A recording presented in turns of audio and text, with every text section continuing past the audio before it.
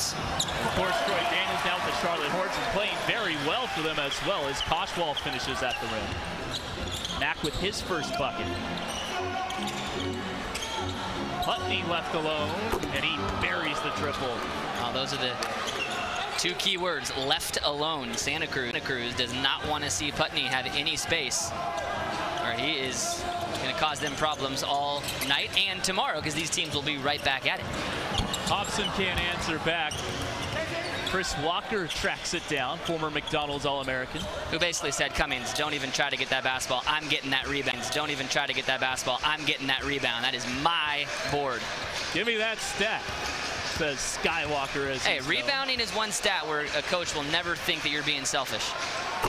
Putney again. Two early threes from Raphael Putney. Well, I guarantee you. The first time for Santa Cruz is Daniel Walele, a sharpshooter out of Air Force. Jarvis the, three in for RGV. And the reality is, is if Putney does get called up for a 10-day contract, he's not going to be going up there to be a, a focal point of an offense. No. He would be a role player who needs to make his mark on the defense. Down. Now, we said that the Vipers are second in both rating and pace. Who's number one? That would be the Reno Bighorns. And last year, Reno averaged 133 points per game. They've toned it down a little bit as well. Jarvis, three to the hoop, no. Walker keeps it alive and finishes off glass. Are second in both rating and pace. Who's number one? That would be the Reno Bighorns. And last year, Reno averaged 133 points per game. They've toned it down a little bit as well. Jarvis, three to the hoop, no. Walker keeps it alive and finishes off glass. Three would probably have been better in Koshwal. He was thinking too much about the shot blocker, and it caused him to miss that shot. Williams with 10 now after those last two free throws. Hobson from the corner, and he's fouled. Hobson was not... two for three from the line. I already got it downloaded, so I don't need to go. Myself as well. Very good app. Matt Carlino. Step back. Short. He's 25% from everywhere on the floor coming into this game while Lele trying to save it in. And he draws the contact. Count it. And the foul. Hoop in the harm for Jarvis 3. And honestly, you could have a slam dunk contest just made out of Vipers alone with Raphael Putney, Chris Walker, Threatt, and Jaron Johnson. I'm sure that won't be the case.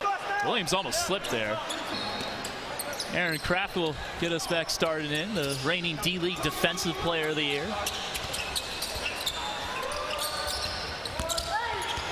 Hobson inside, knocks it down from 12. And he got away with an offensive foul there, and you could see Threatt immediately turned. Knocks it down from 12. And he got away with an offensive foul there, and you could see Threatt immediately turned around to try to let the referee know about it. Carlino, the dribbling display three to three, knocks it down, and that's been an issue for him this yes. season. Just 19% coming into this game from bonus distance. Seven. Carlino.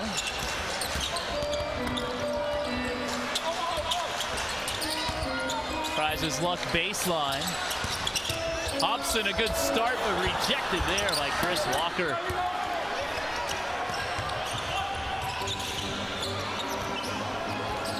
move. He really refused that ball screen. It's kind of a flat ball screen, and he was able to turn the corner, and no one in help side for Santa Cruz.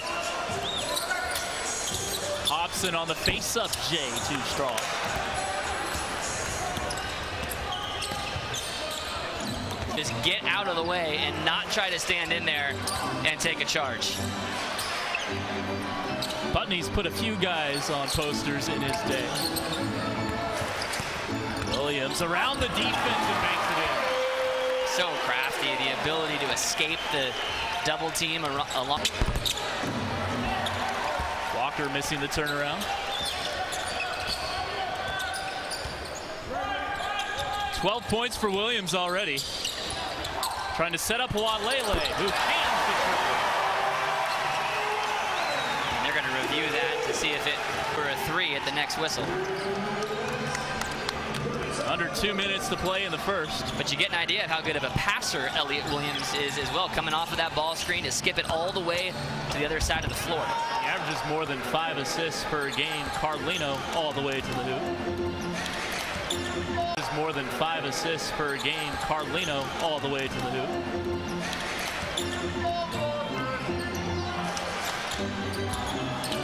Behind the back from Craft to Walele. Not this time.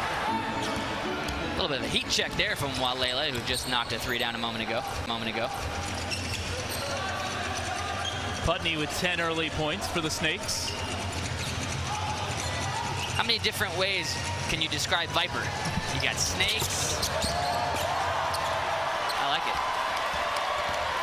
Craft for Hobson lays it in. He's a guy who playing the professional game is thriving. 11 points, 8 rebounds. He's shooting 61% from the field, which is a number that is attainable when you have the athleticism Yeah. that he just showcased a second ago. And he's doing that in under 23 minutes per game. Williams 0 for 2. Koshwal hustling inside. New possession for Santa Cruz. And they give it right back.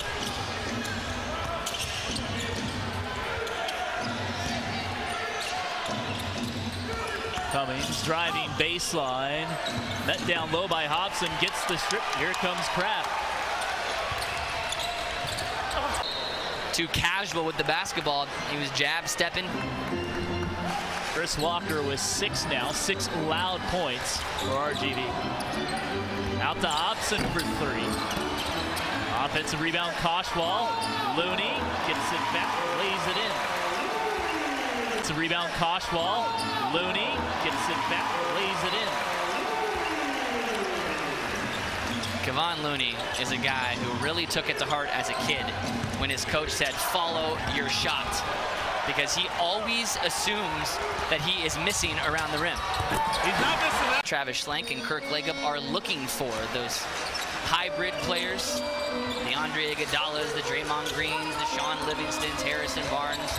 Go on and on. Cummings wide open from distance, and he sticks the triple. Had a little stare down to the Santa Cruz. Had a little stare down to the Santa Cruz bench after that mid three.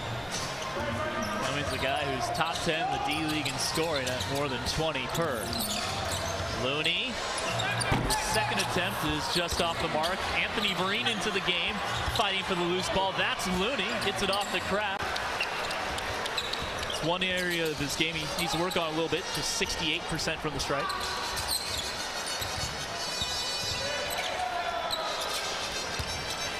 Williams, the follow AJ. That's his money shot right Yes, there. it is on that right side of the floor, fading away.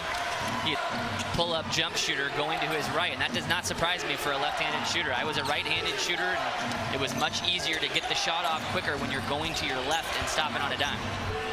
Cummings, no, and Walker tips it back in. Walker now with eight. Game here with Santa Cruz had hip surgery back in August. The Golden State organization, along with Santa Cruz, easing him back into game shape. And he is going to be on some sort of minutes restriction here tonight, so we don't know how much we're going to see him play. Cummings. Free reign, and he read it and timed it perfectly. Denzel Livingston with it out of Incarnate Word in San Antonio off to Jaron Johnson. Livingston launches, drains it. He had a couple of huge threes against the Blue on Wednesday night. One to tie it up at the end of regulation, and another. That is a deep three. League right now for the Reno Bighorns, Chad Topper. He's a sharpshooter.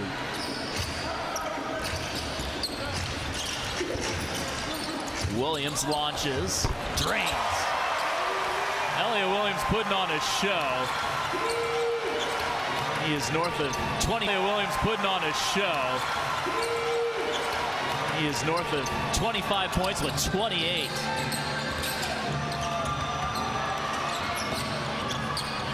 Cummings trying to answer back. Koshwal rips down the miss. On the miss.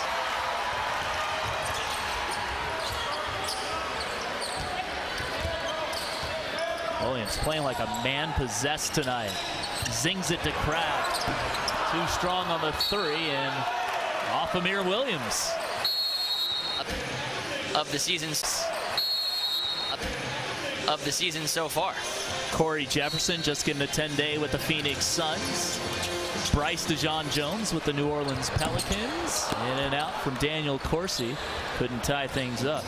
Santa Cruz shooting 54% in the game, but 14 turnovers. 14 turnovers for the Warriors.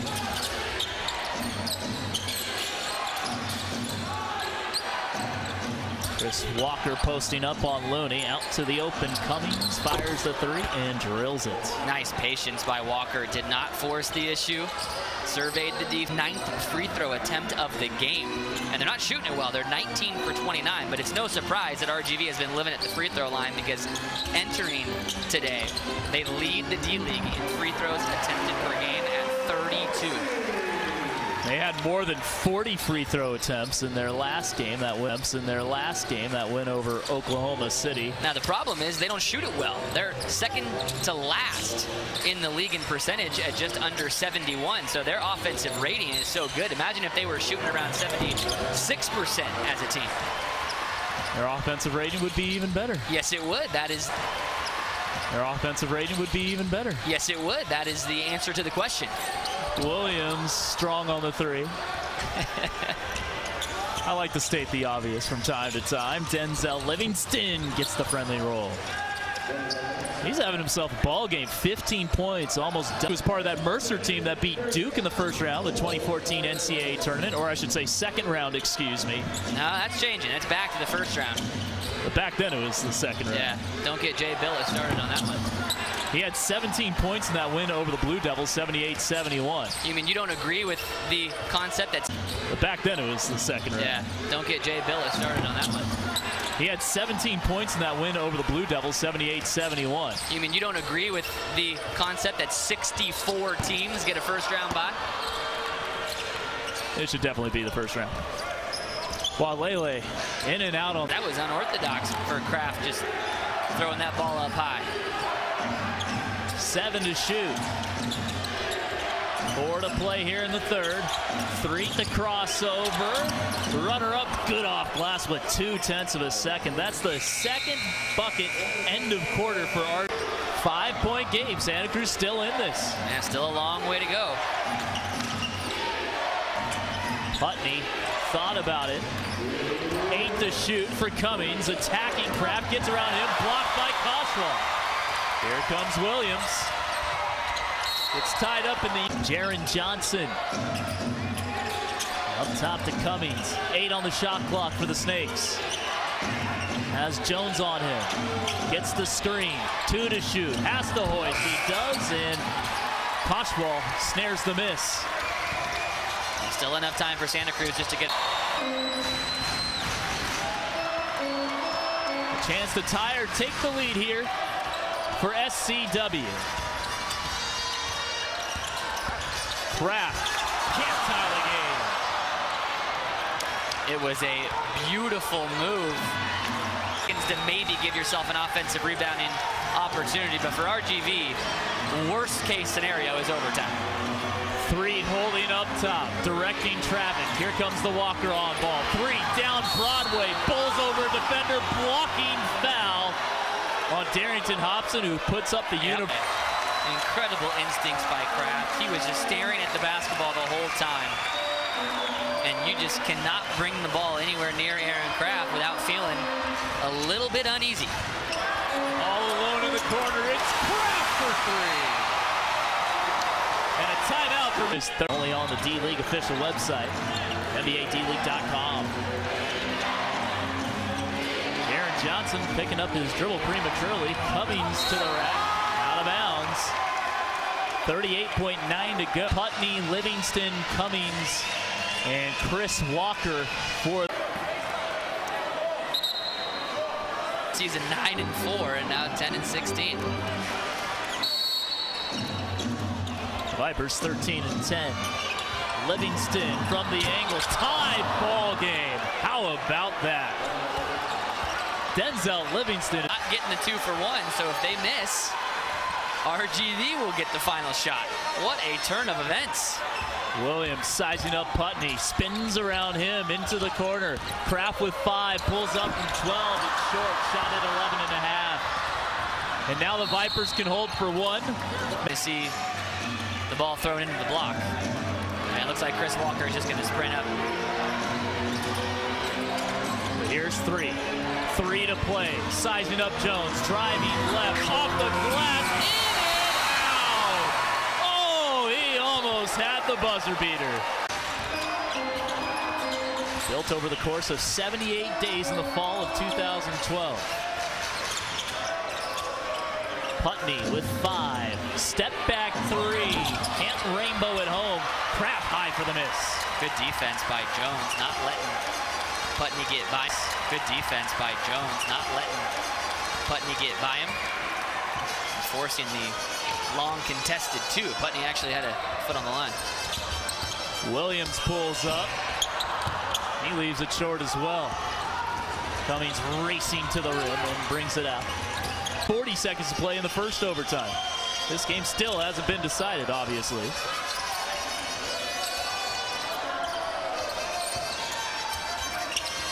Hobson driving to the hoop, lays it in. Santa Cruz back on top. And Matt Koshwal, underrated part of that, of that play, sealing off Chris Walker, who was not able to try to help out and prevent Hobson from getting the layup. Putney driving, scoops inside, short. Koshwal rips it away, gets it off the Craft. And what a heads-up play again from Koshwal.